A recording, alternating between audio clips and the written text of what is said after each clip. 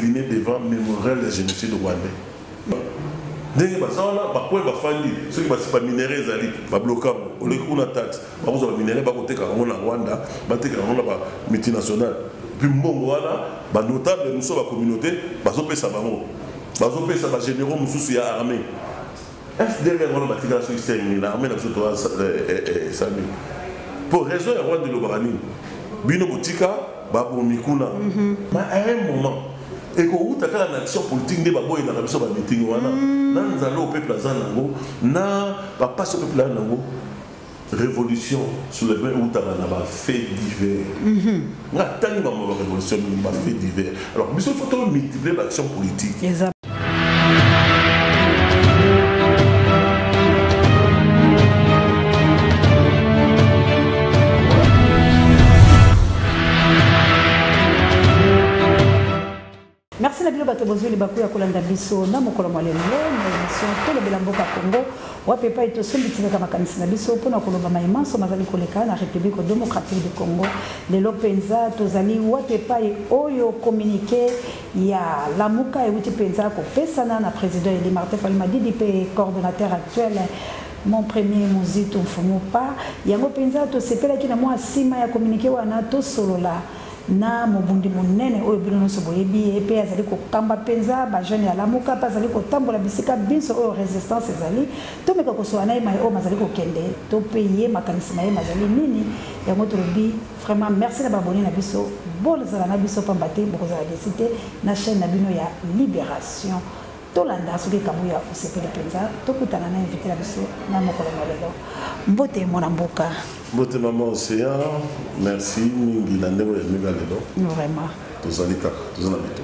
vraiment esengo mpenza mpe ezali ya ngai mpamba te tolukani mwa mingi kasi ntango ezalaka kaka ya nzambe namoni tosi tofungoli nzela na chaine ya biso ya libération ntango tokozala na mposa na banzi kokangela biso motema te Tenga aza mutoko polele.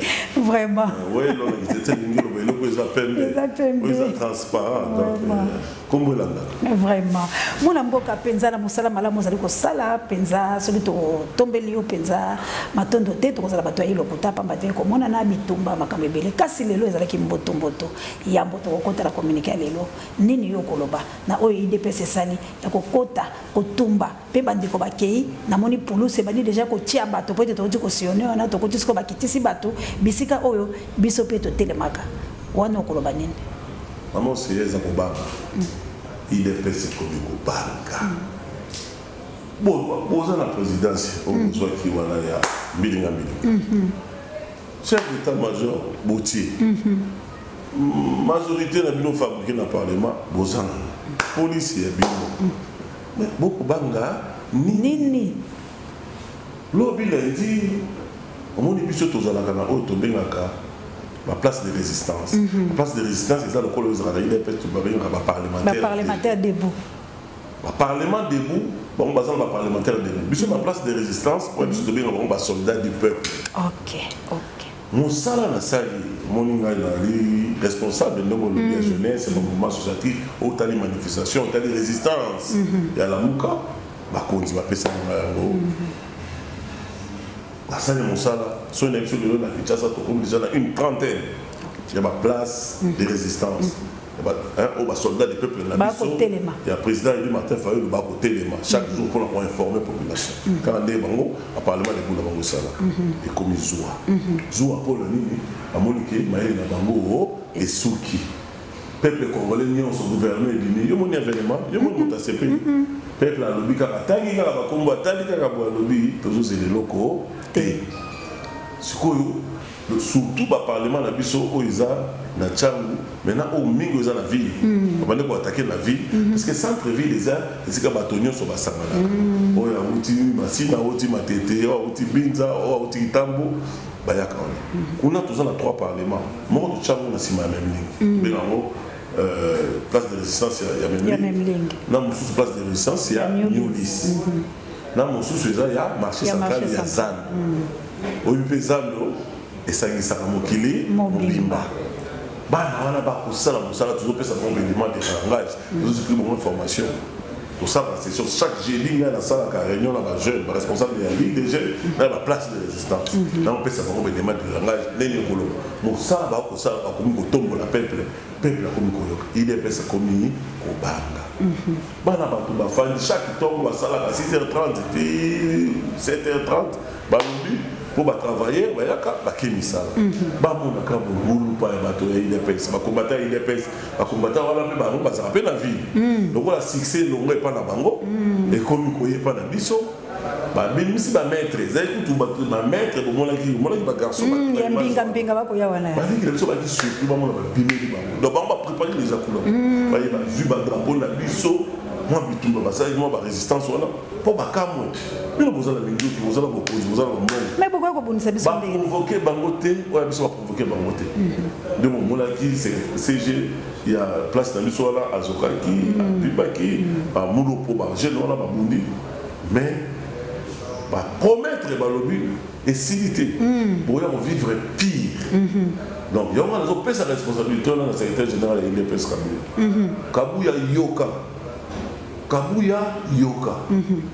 lelo oyo bato oyo bazobunda oyo biso tozobunda biso nyonso tobundaka nsima papa etienne tshisekedi biso nyonso tozalaka victime ya bitumba ya udps towutaka esika moko na makolo ya papa etienne tshisekedi Lelo oyo ozwi pouvoir ya moyibi, bokomi kotinda ba militaire na bino lokola boyebi ke boza deja bokochoue soni mpo biso tokomolamisa population bo entrave bo empêche mosala ya kolamusa peuple na mettre yo en garde yango omoni lelo ngai mona kitaki sur terrain na kotindela mpe bafoto nakitaki sur terrain ngai naza nayokaka litoi moko te matoi mibale basoda na ngai balobaki nayoki mpe bavoisin bokomona na image na kotindela bavoisin balobi clairement biso tofandi awa tokamwe kaka biso moto osenga topesa bandeko na biso eside balobaka awa mpo batambola batombola mpepe idps bapromettre ke baoya kopanza na bamagasin na bango yango nga nakendaki mama océan sokoza bato ya mayele nakendaki na pasta police na otindi lolo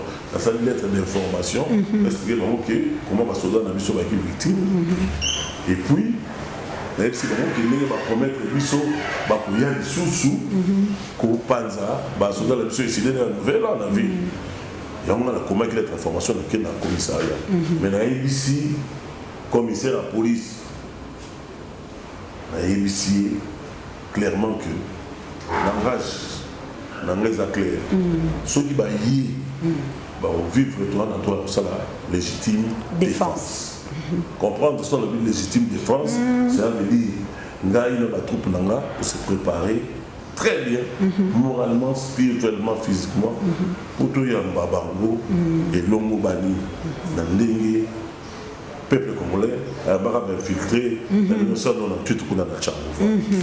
matondo mwana mboka na banza eyokami biso nyonso mpe tobanzi ete tokozala na bino elongo mikolo inso na etumba oyo totikaka te mpe tobengi kongo mobimba ntango mosusu ezali liseko ya république démocratique du congo oyo idps ye moko abandi kopesa mpamba te tolobaki na félix tshilombo ete na nzela na yo nde liseko ekoya na congo yango mpe tozali koya mpo tobongisama boya ebele mpamba te ntango mosusu kozala suka ya makambo kasongo bino moko boyoki mpe botika mwana mboka mokolo mwa lelo eh, mwa message wana ya makasi elobami lelo na bakonzi babale epesami na mwana mboka mwalimu direkab ya président eli soki okoki mpe kotimbola yango na mwa lingala mpo ete balobi yango na lokota ya lifalanse mingi mpe bayokaka mpenza lokota wana te mpo bandeko bayeba ezali nini balobeli nini mpo ete mingi bayoki mpenza malamu te kasi ezalaki message makasi mpo na monyokoli ya este na biso vraiment mama na kotondo ya botondi na kotonda mingi botondi na bakonzi ya lamuka président emi martin fayulu na premier ministre mozito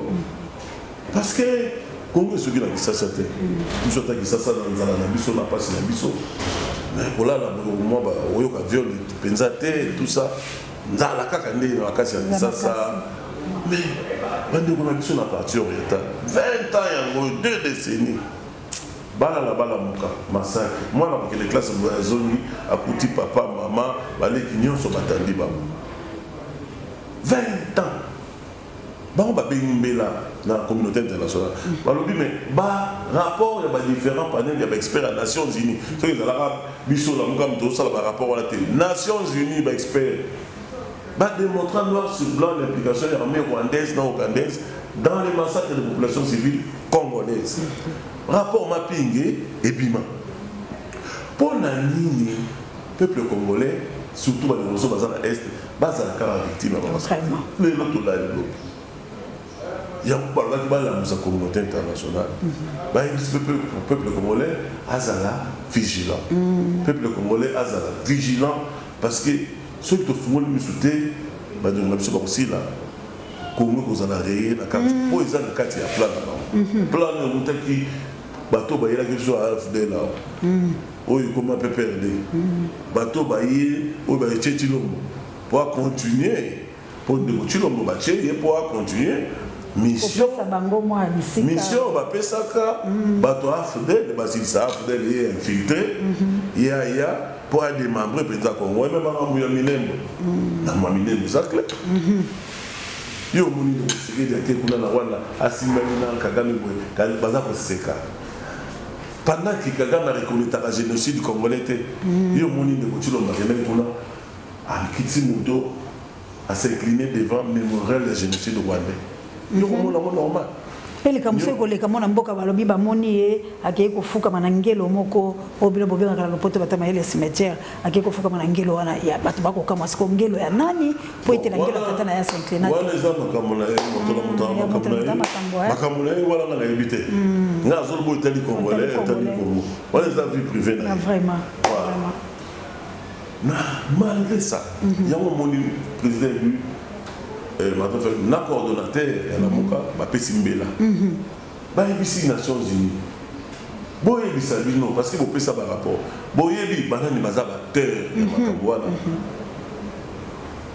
Mais bo identifier bango bolakisa biso tala na bankete na biso mpo toyebi makambo monisco efandi awa 20 ans mm, ekoboma mpe eh, monisco efandi awa boyebi banani baza nsima na yango papa mboso oyo alekaki alobaka nini na parlement abi badepute mosusu mm-hmm. bayebi makambo mpo kaka babomaki bomaki yango mm-hmm. makabulu baye koboma eza makambo ya solo mm-hmm. yango lamuka biso tosengi na monoko ya président na biso to mettre en place oyo tobengi tribunal pénal international pour le congo na rwanda ezalaki kaka 800 000 mort basala tribunal pénal international pour le rwanda mpo na nini ya congo te mpo nini génocide congolais a reconnu sur le plan international te yango bitumba mpe ya lamuka tozwi yango ya motema mpo tozala na communion na bandeko na biso baza na est ya, ya pays congo soki na kisasa te mhm. congo soki na lubumbashi te to na mbandaka te mais congo tozala communion na bato ya sete yango balobi ke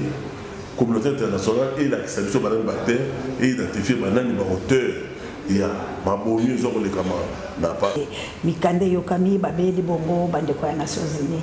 Est-ce que ekoyokama pamba te Tshilombo alobi ete akosalela reforme ya mwana mboka president eli Martin Fayulu Madidi te, akozwa nde ya Lutundula. Sikoyo oza vraiment sur na lolenge mpo oyebi mboka yango malamu malamu. Est-ce que message oyo ekokomela bango mpo bango inso maboko na bango yali ya la Republique democratique du Congo? bango nde bayebi ntino baya koboma balia minere balia biloko inso ya kitoko oyo ezali awa oza sire ke bango bakolakisa epuis le 28 oyo kagame afundi eh, mwana mboka mobundeli mpe kuna odombola ccp na na ccdp na ye est ce que ozomona te ke ebongi kaka tokendela biso lokola biso tolingaka etumba mbala moko tobunda bongo na nsima toya kobongisa bon mama nayoki mbela na yo eza légitime Makambo ozoloba oyo eza pasi ya congolais nyonso oyo alingaka mboka oyo mpenza. Omoni meme na bitumba stratégie ezalaka. Mm. Na meme na bitumba procédure ezalaka. Eza pona mikumisa te mama moninga vie nanga mobimba ba livre de chevet oyo ntango na motu mm. ezalaka ba livre ba stratégie de guerre. Kama ba général chinois Sun Tzu, ba Napoléon Bonaparte, ba ba grand stratège même même ba sport ba Mohamed Ali a gagnaki nani na stratégie former na stratégie bitumba nyonso combat nyonso sans stratégie olomba yango na cadre ya stratégie tosala oyo tobengaka mbela procédure mm. tolakisi bino nao na monoko botala biso tolingi reforme ezala boye ezala boye tofanda biso nyonso tobongisa ntango bango bakoboya mokili ekomonaki a ah, biso toyaki na nzela malamu bango baboyi te mhm. tolakisi mokili mobimba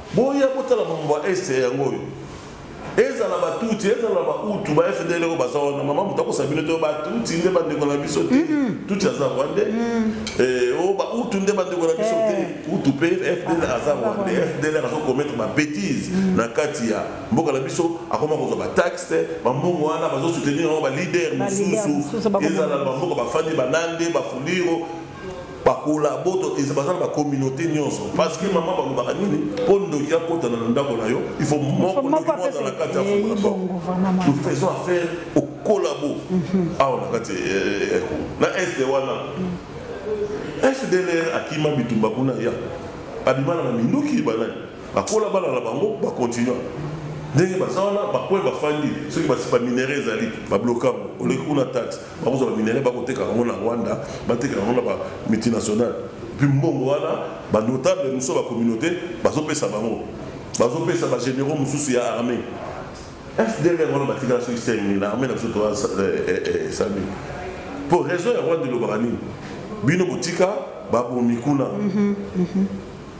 soki toza mpenza na mokonzi wa patriote biso omoni ngai lelo chef de l'état mhm.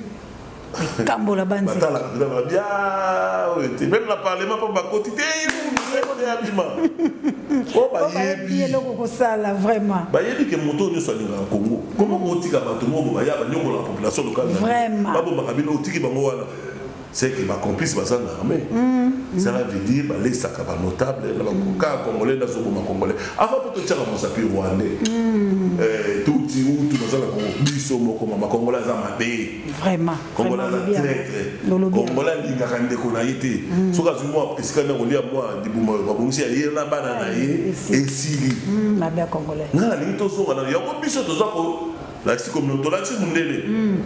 tolakisi mpe kongole osala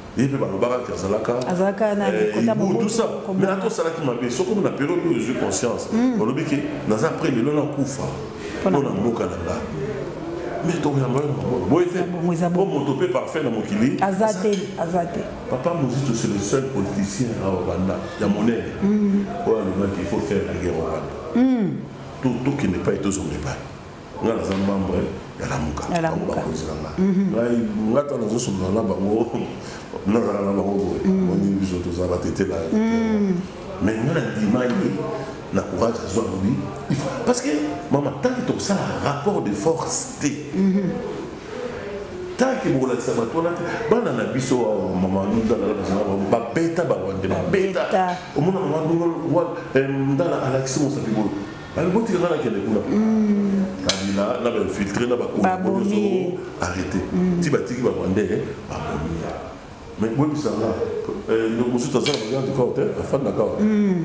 eloko wana esoka barwande bango tout alobaki il faut faire la guerre rwanda parce que soki tosali la guerre rwanda basoda na tokobeta bango ntango hmm. bakobeta bango bakobanda hmm. zobala bango ekosila tosoutenir moto ya ndenge wana ekomi mabe te eza mabe te yango wana alobi boye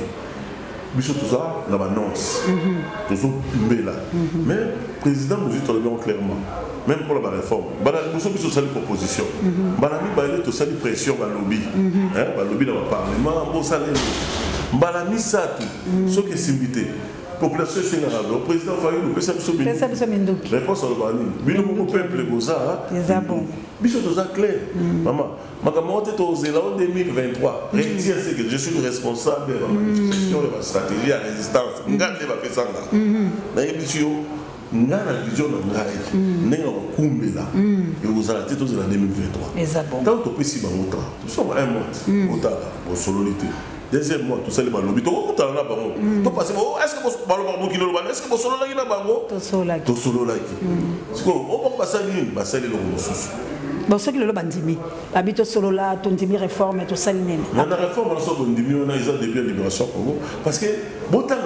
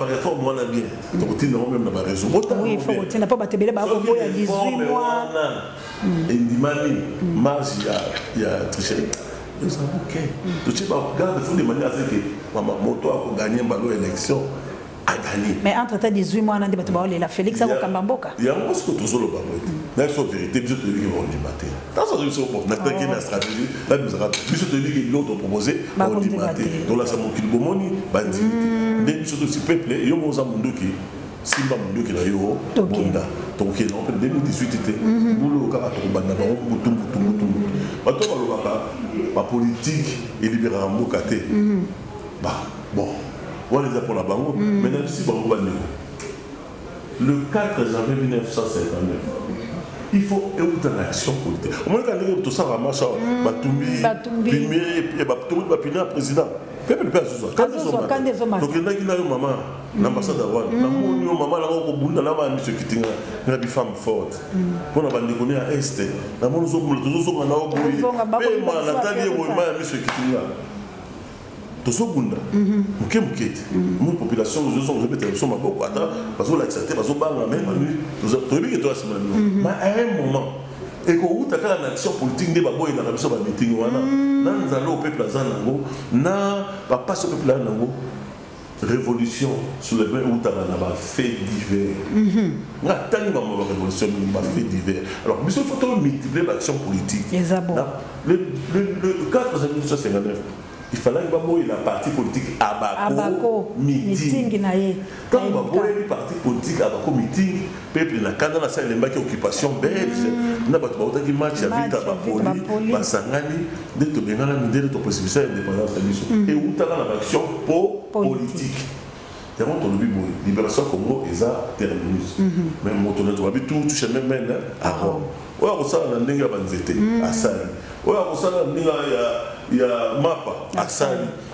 oyo akosala na ndenge ya ndunda asali objectif na biso eza libere mm. na moseka bandeko na so ya diaspora surtout oyo bayo o oh, eh, bino kuna mm. seke neti nga akendaka azongaka bakanga ke te bakango ndeni ozo non seulement ça bayebi ndenge nini mpe nakotaka nde tokokota na badetail te ngai ndeko na yo mm. kapa na 2018 je n'ai pas pu battre une campagne pourquoi biloko na ngai nyonso eutaki chine mbongo ya mpasi ya poto osangisi oke chine osombi bafiche nasomba babiloko na ngai tusa aéroport ane akangi yango vraiment bata campagne te ameni ane ane yango je vous dis ane ya barwandais ya barwandais ezalaki ane ya biso te ane ya bakanganga mbongo 11 000 dollars vraiment ba t-shirt ba casquette ba article nango efalaki nasala ba mm. fiche kitoko pasi na moto oyo ya boye tolobaka papa ngo nalobaka mboka oyo ezokipe ezokipe ezokipe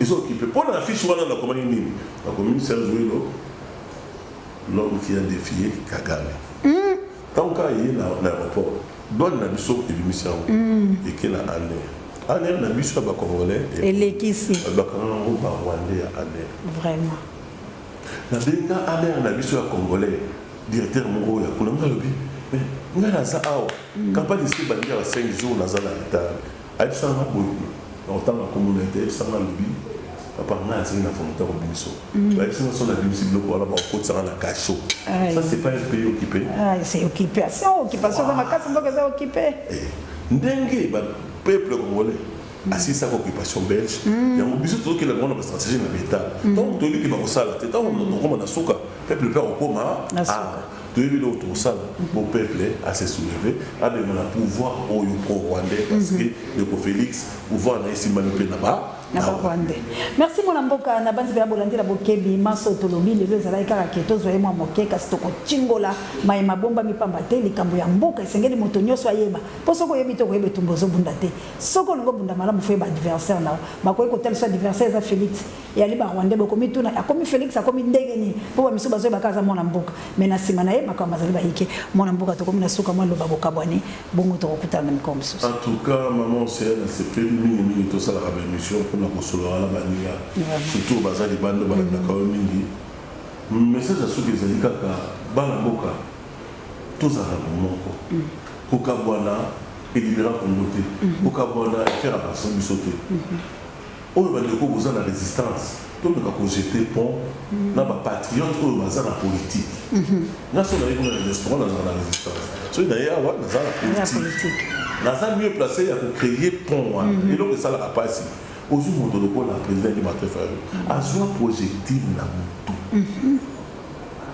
azalaki moto ya liwa te nzambe nde peut-être abatela ye batela mposa na mission moko mpe te moto ya ndenge wana okola moto asali na commentaire accompagnateur moto ya ndenge wana o mpe moto akolala na nzala te aprépara vie na ye de manière ke ye na mwasi mpe abana bolalaa mais aza kobima na nzela mais omona moto mosusu na internet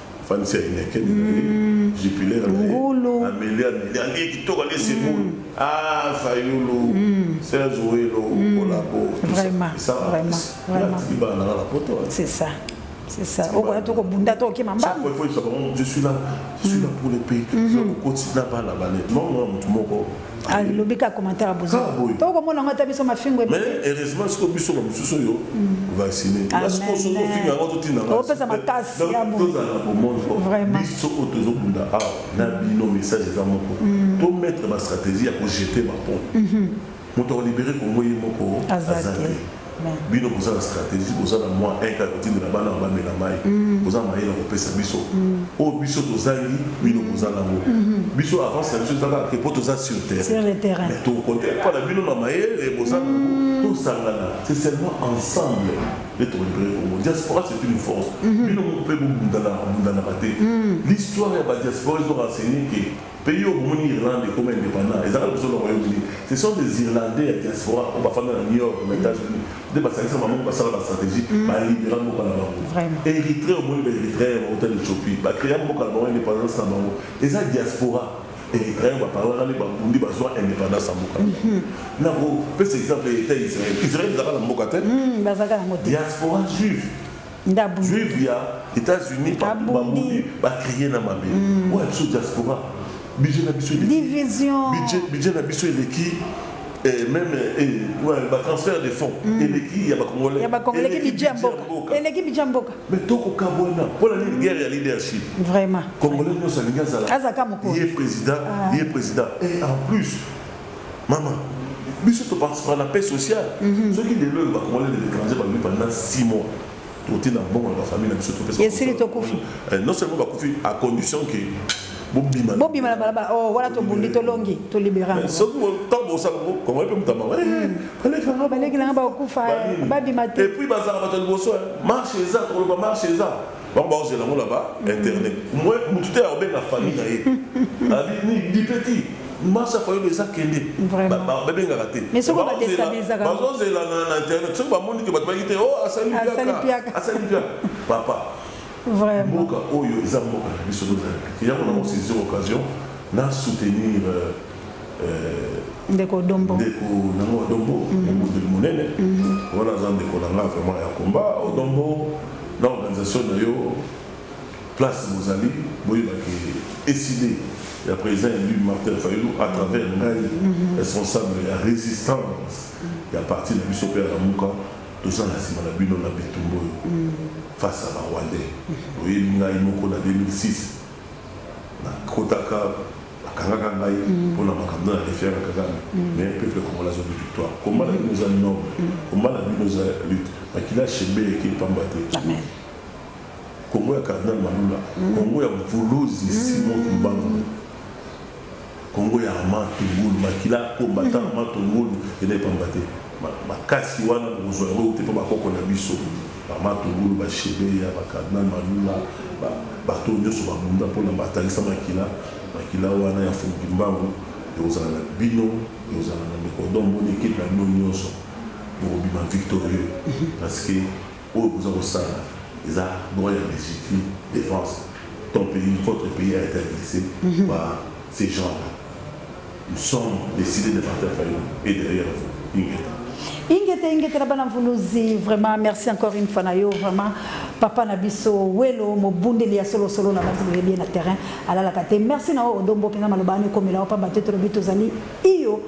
na nsima na bino na ccdp ntango mosusu na nzela na bino eza lisekwa ya république démocratique du congo tosi tozwi bavideo tozwi biloko nyonso tokokende yango na ambassade ya france kotalisa bango si ce n'est pas rwanda alors c'est les français mpo bafrançais bayebi makambo oyo tozoloba merci na bino nyonso mpenza oyo botalaki biso mpenza na tozalaki na ndeko welo kosombitinaka makanisi ndenge tolobaka koanalyse na lokota ya lifalanse mayima azali koleka na république démocratique du congo tout congolais botelema idps a lancé défi na bacongolais Lokola a lancer biso defi, alors tobanzi mpe ekozala piste mpe ya lisekwa mpo ete balobi ata na kati ya tourbillon tozwa double portion na biso mpo na ko sauver Republique democratique du Congo, kolongola ba occupants.